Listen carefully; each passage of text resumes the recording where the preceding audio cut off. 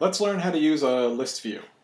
So starting with the template, I'll go into index.html. There's three pages here. Um, we're going to use just two of them. I'll change this to post. This app is going to show the links to a blog and then uh, the individual blog posts. So get rid of this page content. And to use a list view, we use an unordered list.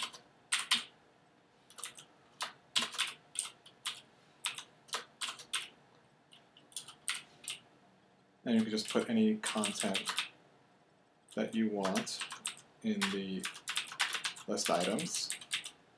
So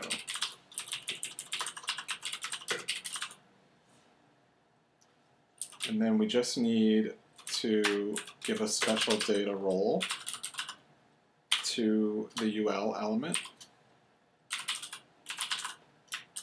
And that's pretty much all there is to it.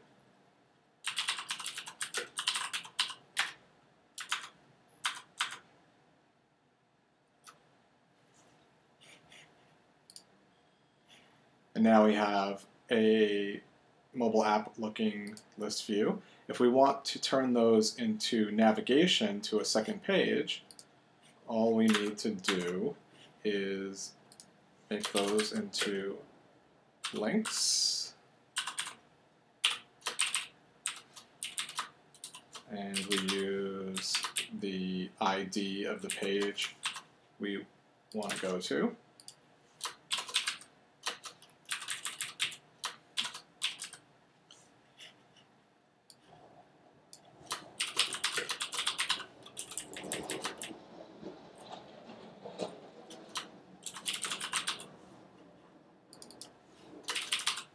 And we'll change the header to say post and put in some content.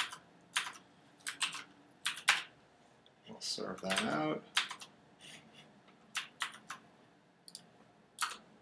And now jQuery Mobile automatically turns these into navigation.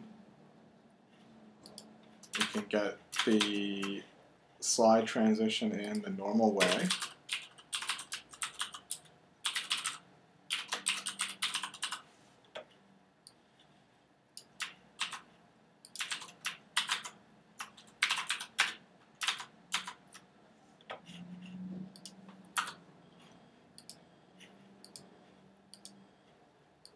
And that's it.